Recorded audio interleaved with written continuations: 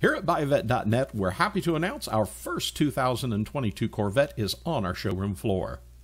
This is an absolutely beautiful car, and speaking of almost new, this only has 241 miles. What a beautiful car. Torch red on the exterior. It has that adrenaline red interior. It just can't be beat. Under the hood, you'll find a 490 horsepower LT2 engine with 8 speed automatic paddle shift transmission. Now, features include the $11,500 3LT preferred equipment group. If you don't already know, this comes with the GT2 seats, the leather instrument panel, door panel, center console, color keyed suede upper interior trim. It has the heads up display, Bose 14 speaker stereo system with steering wheel controls, and of course, navigation.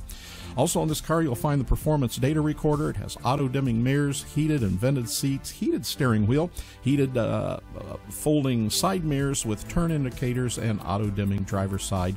It also has uh, blind side zone alert as well and uh, rear co- cross traffic uh, alert.